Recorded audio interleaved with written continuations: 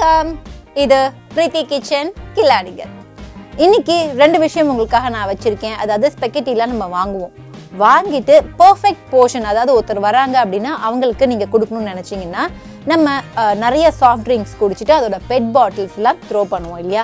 So அப்படியே use and throw cancer நீங்க தூக்கி போடாம அதுல போட்டு வச்சுட்டீங்க அப்படின்னா அது ஒருத்தருக்கான பர்ஃபெக்ட் போர்ஷனா இருக்கும் அப்படின்னு சொல்றாங்க. அண்ட் இன்னொன்னு பிரிங்கிள்ஸ் மாதிரி சிப்ஸ் எல்லாம் நம்ம வாங்கும்போது அதை நம்ம தூக்கி போட்டுருவோம். ஸோ அந்த கேனை நீங்க தூக்கி போடாம அதுல ஸ்பெக்கெட்டியை போட்டு வச்சீங்கன்னா உடையாம இருக்கும்.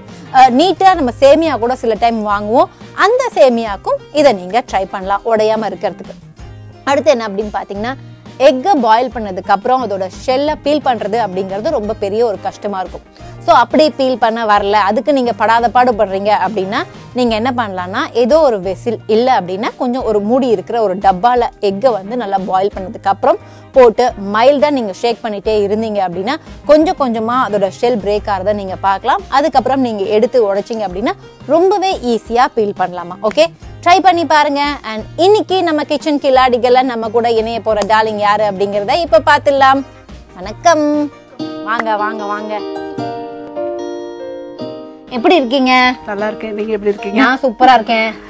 அப்புறம் எப்படி போயிட்டு இருக்கு லைஃப்லாம் லைஃப் நல்லா போயிட்டு இருக்கு. ஓகே வீட்ல யாரெல்லாம் இருக்காங்க? உங்க பேர் சொல்லுங்க. என் பேர் சுமதி. நான் வந்து துறைப்பாக்கத்துல இருந்து வரேன் ஆக்சுவலாக வீட்டில் வந்து எங்கள் அம்மா குட்டி பையன் அந்த பையன் என்னோட பையன். அப்புறம் என் பிரதர் இன்னொரு எல்டர் பிரதர் எங்கர் பிரதர் எல்லாம் ஜாயிண்ட் ஃபேமிலியாக தான் இருக்கும் ஒரே ஃப்ளாட்டில் ஓகே ஃப்ளாட்டில் தனித்தனி. அதாவது கூப்பிட்ட குரலுக்கு நம்ம நம்ம ஆளுங்க பக்கத்துலயே இருக்காங்க. அது மாதிரி இருக்கிறதா இன்னைக்கு ரொம்ப கஷ்டம். சோ அப்படி அந்த விதத்துல நீங்க ரொம்ப பிளஸ்டா இருக்கீங்க. கிரேட் ஓகே வீட்ல எல்லாரும் நான் கேட்டதா சொல்லுங்க. இப்போ இன்னைக்கு என்ன சமைக்க போறீங்க? இன்னைக்கு வந்து பீர்க்கங்காய் மசியல். பீர்க்கங்கா மசியல். மசியல் யூஸ்வலாக கருணக்கிழங்குல பண்ணுவாங்க. கிழங்கு வகைகள்ல பண்ணுவாங்க. இது வந்து பீர்க்கங்காய். பீர்க்கங்கால நீங்க ட்ரை பண்றீங்க. ஏன்னா கருணக்கிழங்கு மசியலை விட உருளைக்கிழங்கு மசியல்னா பல பேர் உயிரை விடுவாங்க அது நமக்கு தெரியும். சோ அப்படி வந்து பீர்க்கங்கால ஒரு மசியல் ட்ரை பண்ணணும் அப்படின்னு இவங்க ட்ரை பண்ணியிருக்காங்க. ட்ரை பண்ண போறாங்க. அது எந்த நிலமையில இருக்க போகுது அப்படிங்கறத நம்ம பார்க்கணும்னா இப்ப நம்ம குக்கிங்கான வேலைகளை ஆரம்பிக்கணும். அதுக்கு முன்னாடி தேவையான இன்கிரீடியன்ஸை சொல்லணும். என்னென்ன தேவை?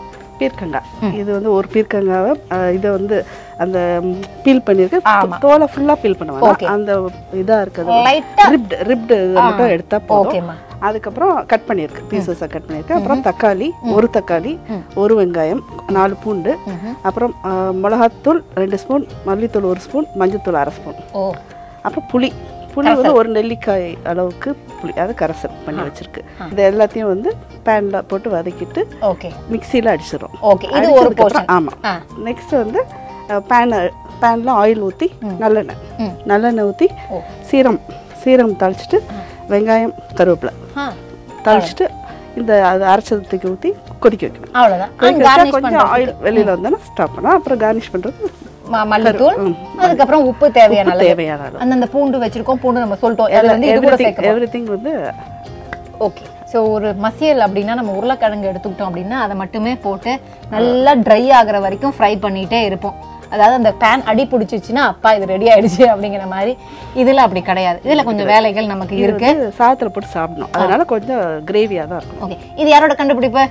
இது வந்து என்னோட பிரதர்ஸ் ஒய்ஃப் அவங்க ஃபேமிலியிலேருந்து வந்தது. நாத்தனார் ஸ்பெஷல் ஆமாம் ஓகே அவங்க எந்த ஊரு?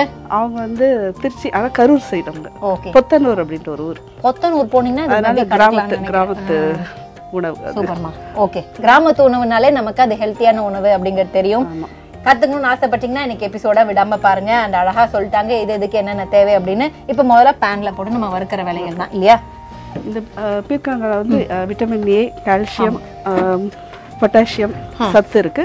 அண்ட் அஹ், நரைக்கு வந்து நல்லது. ஓ இளநரை. ஆமா. இளநரை பத்தி நம்ம நிறைய பேச போறோம். எப்பவும் தான் கேட்போம் இதுல என்ன ஸ்பெஷல் டேஸ்டா இல்ல வந்து சத்துக்கள் என்ன இருக்குன்னு. அதை பத்தி நம்ம பேசலாம். முதல்ல பத்த வச்சிருவோம்.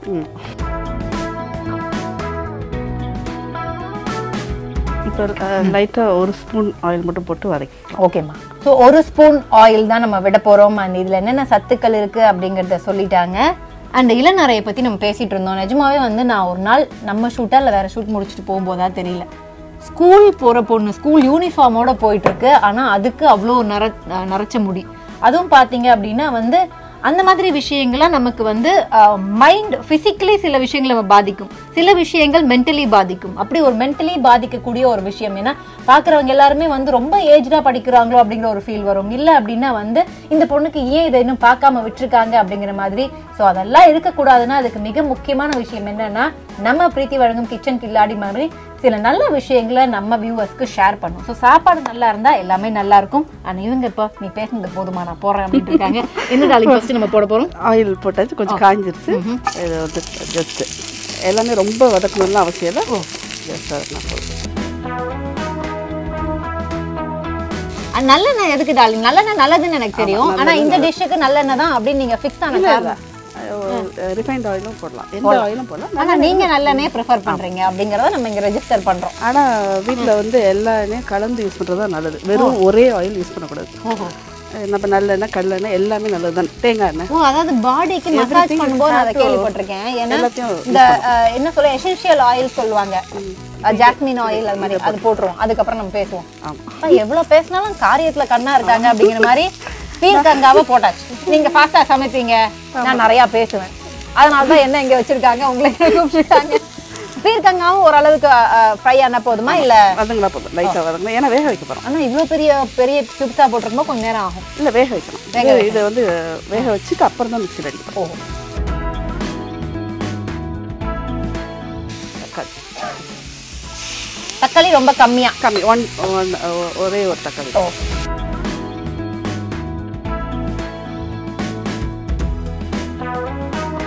இப்போ வந்து அதுக்கான அளவு சொல்லிட்டாங்க. எது எது நம்ம சொல்லி மிளகாத்தூள். ஃபர்ஸ்ட் அதை போடலாமா? அப்படியே வச்சிருக்கேன். ஓ அப்படியே போட்டுருமா அப்போ மறுபடியும் அண்ட் ஒன் ஸ்பூன் மல்லித்தூள் அண்ட் மஞ்சத்தூள் ஹாஃப் ஸ்பூன் ஓகேம்மா ஓ சேர்த்தே போட்டுருணும் இதுவும் அவங்க ஊர் ஸ்டைல் போல இருக்குது. இல்லை இல்லை தனியாகவும் போடலாம். தனியா போடலாம்.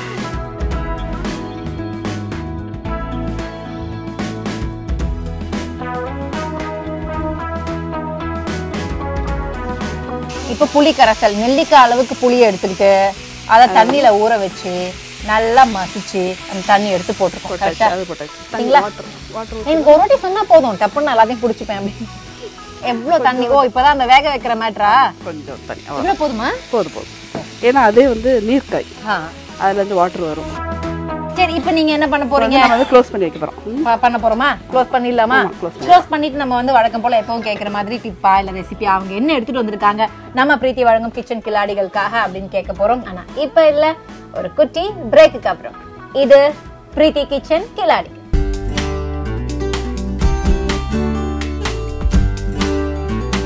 Kitchen Killadigal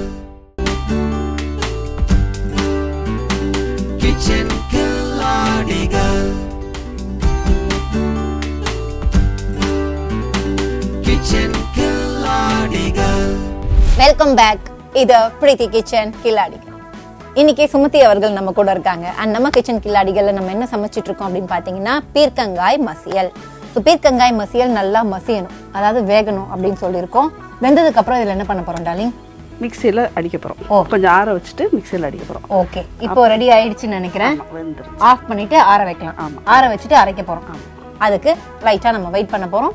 ஆறணும்ல அதுக்காக தான். பீர்க்கங்காயா ஆற வச்சிருக்கோம். அதாவது நல்லா ஃப்ரை ஆனதுக்கு அப்புறம் வெந்ததுக்கு அப்புறம் ஆற வச்சிருக்கோம். ஆற வச்சதுக்கு அப்புறம் இப்போ நம்ம அரைக்க போறோங்கிறத முதல்ல சொல்லிட்டு அரைச்சிடலாமா? இது எல்லாத்தையும் போட்டு தானே? அதுக்கு முன்னாடி கொஞ்சம் சால்ட் ஓ, இதுல சேர்த்துக்க போறோம். தேவையான அளவு சால்ட் ஓ, அதுலயே போட்டுக்க போறோம்.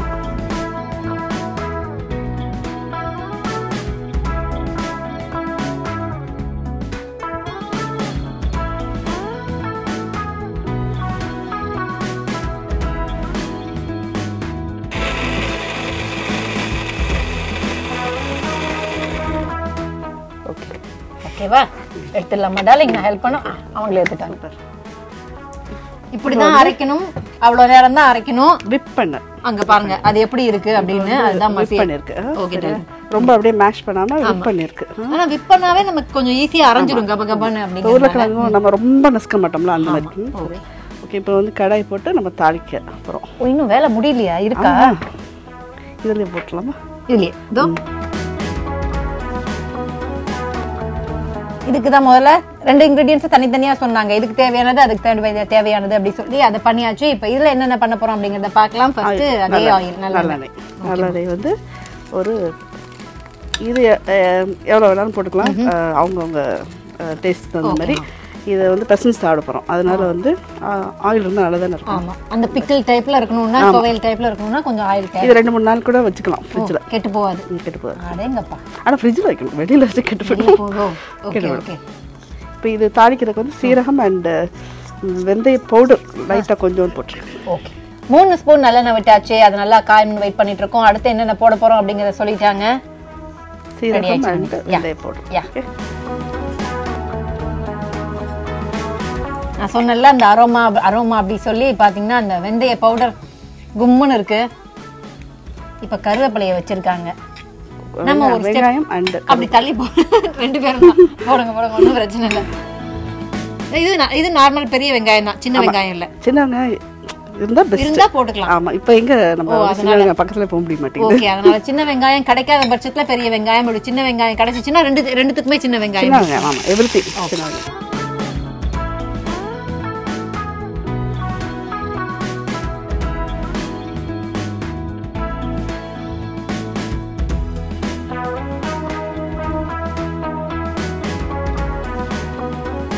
அரைச்சி வச்சதை போட்டுருவோம். Okay darling.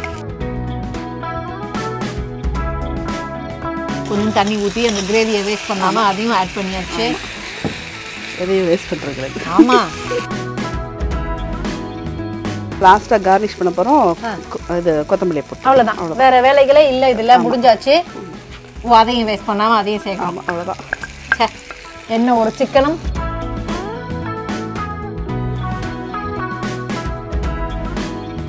ரெசிபியா சொல்லுங்க என்ன சொல்ல போறீங்க? ரெசிபி இப்போ வந்து கருவேப்பிலையை வந்து மிக்சியில் அடிச்சிடணும் பச்சையாக சரி. அப்புறம் நல்லெண்ணெய் ஊற்றிட்டு கடுகு உளுந்தம்பருப்பு கடலைப்பருப்பு போட்டு வரமிளகாய் போட்டு அதை தூக்கி ஊற்றிட்டா அவ்வளோ கருவேப்பிலை சாதம். சாதம். கருவேப்பிலை சாதம். பண்ணி- அதிலே போடணும். போட்டுட்டு. ட்ரையாக கிண்டிடும் தான். கருவேப்பிலை சாதம் கருவேப்பிலை சாதம் அதுவும் அதுவும் முடிக்க நல்லது. அதுவும் ஆமா ஆமா. ஆமாம் நைன்டி டேஸ் வந்து அதான் இது வாட்ஸ்அப்பில் தான் வருது. Ninety days daily fifteen leaves சாப்பிட்டா நரைக்காதுன்ட்டு. எனக்கு வந்து நரைக்காது. பயங்கரமா நரைச்சிருந்துச்சு ஒருவேளை வீட்ல இருக்கிற கருவேப்பிலை செடியா இருந்தா கருவேப்பிலை செடி மொட்டையாயிடும். நைன்டி டேஸ் தானே ஒரு ஸ்டெம் தான் எடுப்பீங்க ஒரு நாளைக்கு. நம்ம எடுத்தோன்னா சோ உங்களுக்கு அப்படி ஆச்சா? அதை பத்தி சொல்லுங்க எக்ஸ்பீரியன்ஸ் அதான் எனக்கு வந்து பயங்கர நரை வந்துருச்சு திடீர்னு. சரி. அப்புறம் சாப்பிட்டு இந்த இப்போ கொஞ்சம் கருப்பு இருக்குல்ல. இல்லை நல்லா நரைக்க ஆரம்பிச்சிருந்துச்சு. அரெஸ்ட் ஆயிடுச்சு. ஓகே முடி முடி வேற வளர்ந்துருச்சு. முடி வளர்ந்துருச்சு. அப்படி அதுல ஒரு சந்தோஷம் உங்களுக்கு. வயசான காலத்துல கொஞ்சம் முடி வளர்ந்துருச்சு. முடியும் வளரும். அப்புறம் வந்து நிறையும் கம்மி ஆகும் அப்படின்னு சொல்லியிருக்காங்க. டூ இன் ஒன் ஒரே கல்லுல ரெண்டு மாங்காய் அதனால நீங்க எவ்வளவு வேணா இந்த கருவேப்பிலைய சாப்பிடுங்க. முடிஞ்சா இவங்க சொன்ன மாதிரி கருவேப்பிலை சாதத்தை சாப்பிடுங்க. அதுவுமே நிறைய செய்யக்கூடாது. Ninety days that's all stop திருப்பி நாளைக்குமே வளர முடி. இல்ல அவ்வளவுதான். ஒன் ஒன் கோர்ஸ் அப்புறமேல வேணா பாத்துக்கலாம் அது ஒரு வருஷம் கழிச்சு வேணா. திருப்பி நரைக்கும் விட்டுருங்க. நரைக்கட்டும் நம்ம வந்து செடி அப்படின்ட்டு நிறைய சாப்பிடக்கூடாது. எல்லாத்துக்கும் அளவு இருக்கு. அளவோட தான் அளவோட தான். பிளான் பண்ணி தான் பண்ணணும் போல இருக்கு. இது கொச்சிட்டே இருக்கு. இது இன்னும் எவ்வளவு நேரம் ஆகும் அப்படின்ற கேட்க போறோம். டார்லிங் இன்னும் எவ்வளவு நேரம் இருக்கணும்? ஒரு ஃபைவ் டென் மினிட்ஸ் நம்ம அந்த கொஞ்சம் ஆயில் வெளியில வந்தோன்னா ஸ்டாப் பண்ணிடலாம். ஓகேமா சோ இந்த வேற இன்கிரிடியன்ஸ் எதுவும் கிடையாது. நாங்க எதுவும் போட போறது கிடையாது. கொதி விட போறோம். கார்னிஷ் பண்றோம் இதை வச்சு அது நம்ம சொல்லிப்போம். ஆனா இப்போ நம்ம என்ன பண்ண போறோம்? வேற ஒன்று சொல்லுங்க? வேற என்ன சொல்லலாம்? நான் ஆக்சுவலா இன்னைக்கு பிரியாணி தான் செய்யறேன் சொன்னேன் அப்புறம் எல்லாரும் பிரியாணி செய்வாங்கன்னொன்னே சரி. ஆனா நான் வந்து பாஸ்தா பிரியாணி செய்வேன் ஃபாஸ்டா பிரியாணி. அப்ப அந்த அந்த ரெசிபி வச்சிருக்கீங்க. ஆமா ஆமா ஓகேம்மா அப்ப நம்ம என்ன பண்ணலாம் அப்படின்னா அந்த ஃபாஸ்ட் பிரியாணி என்னங்கறத நீங்க தெரிஞ்சுக்கணும்னா ஃபாஸ்டா ஒரு பிரேக் எடுத்துட்டு வாங்க. இது பிரீத்தி கிச்சன் கிளர்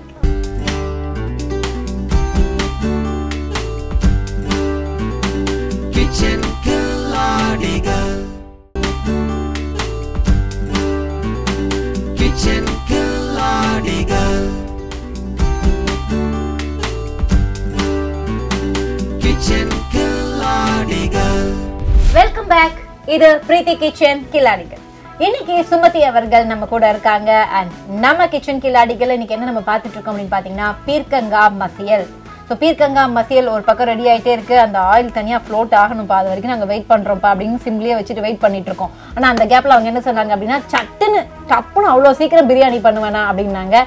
என் நண்பனும் ஒருத்தன் சொன்னான் அக்கா ஒரு நாள் நான் பயங்கர பசியோட இருந்தேன். என்ன பண்றதுன்னு தெரியல. ஏதோ ஒன்று பண்ணா அது ஃபாஸ்ட் பிரியாணி ஆயிடுச்சு அப்படின்னா. சோ அதுக்காக அந்த நண்பரை கூப்பிட்டு நாங்க ஒரு எபிசோட்ல அதாவது செலிபிரிட்டி கிச்சன் நம்ம சண்டே கிச்சன்ல அதை செய்ய போறோம். ஆனா இப்போ சுமதி அவர்களோட அந்த ஃபாஸ்ட் பிரியாணி என்ன அப்படிங்கிறத கேட்டுக்கலாம் டலிங் அது என்ன ஃபாஸ்ட் பிரியாணி? ஃபாஸ்ட் பிரியாணி வந்து அஹ், எல்லா இன்க்ரீடியன்ஸும் ஆனால் இருக்கணும் வீட்டில் ஓகே இது பச்சை மிளகா அதான் ப்ரொவிஷன் எல்லாம் பக்கவா இருக்கணும். இருக்கணும் அப்போ தான் ஸ்பீடாக அது வந்து செஞ்சு முடிச்சிடலாம். பட் இப்போ நான் ஸ்டார்ட் பண்ணதுலேருந்து. உங்களுக்கு ஒரு டுவெண்ட்டி மினிட்ஸில் காய் கட் பண்ணுறதுலேருந்து எல்லாமே எல்லாமே முடிச்சிடலாம். For one half KG rice எடுத்துக்கிறோம். ஒரு ஒரு கப் எடுத்தோன்னா டூ கப்ஸ் வாட்டர் அது ரெடியாக வச்சுக்கிறோம். அப்புறம் இப்போ வந்து குக்கர் குக்கரில் தான். குக்கரை வச்சுட்டு ஆயில் ஊற்றிட்டு தேவையான அளவு ஆயில் ஊற்றிட்டு பச்சை மிளகாயை ஃபர்ஸ்ட் வித்தவுட் ஸ்லிட்டிங். ஸ்லிட் பண்ணாமல் முழு பச்சை முழு மிளகாய் பச்சை மிளகா போடணும்? ஸ்லிட் பண்ணி போடக்கூடாதா? அரை கிலோனா ஒரு ஆறு பச்சை மிளகாய் ஆ. போட்டு மூடிடும் ஏன்னா தெரிக்கும் பயங்கர ஆமா பின்ன? அ- அதை போட்டுட்டு அப்புறமேல் பட்டை கிராம்பு ஏலக்காய் ஆ. ஒரு பட்டை ரெண்டு கிராம்பு ஒரு ஏலக்காய். கொஞ்சம் சோம்பு. எல்லாம் வெரி லிட்டில். அது போட்டு போட்டு வந்து. இது ஆனோன்னு அது போட்டு அதுக்கப்புறம் வெங்காயம் கட் பண்ணி அப்பயே இது போடுறப்பே டக்குன்னு வெங்காயத்தை கட் பண்ண தான் போட வந்தோம் அப்புறம் காய். காய் வேணும்னா காய் பண்ணால் இல்லாட்டி காயெல்லாம் போடலாம். சிக்கன் போடலாம். மஷ்ரூம் மட்டன் போடலாம் மஷ்ரூம் போடலாம். மட்டன் மெயின் இன்கிரிடியன்ட்டோ அதை போடுறோம். மட்டன் தான் வேக வச்சு போடணும். அவ்வளோதான் இதை வந்து போ- போட்டுரும் அதில். நெக்ஸ்ட் வெங்காயத்துக்கு அப்புறம். வெங்காயம் வந்து ரொம்ப வதக்கணும்லாம் கிடையாது. யூஸ்வலாக கோல்டன் ப்ரௌன்லாம் சொல்லுவாங்க அதெல்லாம் ஆமாம் வதங்கினா போதும். அப்புறம் நம்ம வந்து இந்த என்ன காயோ அதை போடுறோம். போட்டு ஒரு தக்காளி. இப்ப அரை கிலோனா ஒரே ஒரு தக்காளி தான். அதையும் ரொம்பலாம் கட் பண்ண வேணாம். இப்போ நீ கட் பண்ணி இந்த மாதிரி. கட் பண்ணி போட்டு அதையும் வதக்கிறோம் வந்து. அப்புறமேல் வந்து இஞ்சி பூண்டு இஞ்சி ஒரு ஒன் இன்ச் இஞ்சி அப்புறம் ஒரு கை பூண்டு அப்புறம் கொத்தமல்லி ஒரு கை புதினா ஒரு கை தான். நிறைய போடக்கூடாது. போட்டு மிக்சியில் எல்லாத்தையும் இதே மாதிரி விப் பண்ணணும் ஒன்லி விப். விப் பண்ணி அதை ரெடியாக வச்சுக்கணும். இப்போ இந்த காய் வதங்கின அப்புறம் அது போடணும். ஓகே. இதுக்கு நடுவில் நம்ம ரைஸை கழுவிடுறோம். அந்த ரெண்டு டம்ளர் தண்ணியை தூக்கி வச்சிடணும். இது பண்ணுறப்ப வெங்காயம் வதக்கிறப்ப போட்டுடணும். ஓகே. அது கொதிக்கும். கொதிக்க சைடில் வச்சுட்டோன்னா சைட் பை சைடு ஆகும்? ரெண்டு பக்கமும் ஆமா. ஆயிரும். ரெண்டு பக்கம் ஆகும். அப்புறம் இந்த இதில் வந்துட்டு இந்த ரைஸை போடணும். மசாலா வதக்கினோடனே ரைஸை போடணும். காய் போட்டு அதுக்கப்புறம் மசால். அதுக்கப்புறம் ரைஸ் ரைஸை போட்டு நல்லா வதக்கணும் அதில். அப்போ அந்த நல்லா அதில் அப்படியே சேர்ந்துக்கும். ஆமா கண்டிப்பா. டேஸ்ட் வந்து நல்லா சேர்ந்துக்கும் அதில். அதுக்கப்புறம் அந்த கொதிச்சிட்டு இருக்க தண்ணியை ஊற்றணும் அவ்வளவுதான். ஊற்றி ஒன் ஒன் சவுண்ட் ஒரு ஃபோன் போதுமா? மூணு விசில் வாங்கலாம் ஒன்லி டூ மினிட்ஸ் சவுண்டு பார்க்க கூட வேணாம். டூ மினிட்ஸ் தான் எடுத்துடணும். எடுத்துட்டு அப்படியே உங்களுக்கு இன்னும் கொஞ்சம் வேகலை அப்படிலாம் நினச்சிங்கன்னா தோசைக்கல் வச்சு மேலே வச்சுக்கலாம். ஓ அந்த வாம்ல அப்படியே ஆயிடும். மேலே வாட்டர் வச்சுக்கலாம் கீழே தோசைக்கல். அடேங்கப்பா. ஆனால் இது வந்து ஃபிஃப்டீன் மினிட்ஸ் ஆகும். அதை செய்கிறதுக்கு கப்ப கப்ப கட்டிங் டூயிங் ஓகே ஆக்சுவலாக அதுதான் சொ- செய்கிறதா இருந்துச்சு. அந்த அவ்வளவு சீக்கிரமா நீங்க பிரியாணி மத்தவங்களுக்கு செஞ்சு கொடுக்கணும்னு ட்ரை பண்ணிருக்கீங்க. ஆமா. ஆனா அதுக்கு முன்னாடி நமக்கு இன்னைக்கு எபிசோட்ல நம்ம என்ன சமைச்சிருக்கோம் அப்படிங்கிறதுக்கான ரீகேப் கடாயை போட்டு நல்லெண்ணெய் ஒரு ஸ்பூன் நல்லெண்ணெய் அதில் வந்துட்டு இந்த வெங்காயம் பூண்டு பீர்க்கங்க அப்புறம் தக்காளி அப்புறம் டூ ஸ்பூன்ஸ் மிளகாத்தூள் ஒன் ஸ்பூன் மல்லி அண்ட் spoon மஞ்சள்தூள். மஞ்சத்தூள். எல்லாத்தையும் போட்டு அதையும் வதக்கிட்டோம். வதக்கிட்டு அப்புறம் இது புளி. புளி வந்து ஒரு நெல்லிக்காய் அளவு புளி. அதை வந்து கரைச்சி வச்சுருந்தோம். அதையும் ஊற்றிட்டோம் ஊற்றிட்டு கொஞ்சம் வதக்கிட்டு அதுக்கப்புறம் தண்ணி ஊற்றி வேக வச்சோம். வேக வச்சுட்டு அப்புறம் ஆற வச்சோம். ஆற வச்சுட்டு அதுக்கப்புறம் மிக்ஸி. மிக்ஸி. விப்பர்ல வச்சோம். ரொம்ப மேஷ் பண்ணாம கொஞ்சம் இதா இருக்க திப்பி திப்பியா இருக்க மாதிரி. அப்புறம் இந்த ஆயில் கடாயில் ஆயில் ஊற்றி மறுபடியும் நல்லெண்ணெய் ஊத்தி. ரெண்டு மூணு ஸ்பூன். அது போட்டு சீரகம் மட்டும் தாளிச்சோம். சீரகம் அப்புறம் வந்து இது வெந்தய வெந்தய பொடி. வெந்தய பொடி வந்து வறுத்த வெந்தயம் அது மிக்சியில் அடிச்சு வச்சிருந்தது அது போகிறோம் கொஞ்சோண்டு ஒரு பிஞ்சு வாசத்துக்கு போட்டோம். அப்புறம் சா சால்ட் போட்டோம் அரைக்கிறப்ப. அப்புறம் அதை போட்டுட்டு இந்த அரைச்சதை அதில் போட்டோம். அவ்வளோதான் இப்போ. கொதிச்சு முடிஞ்சிருச்சு.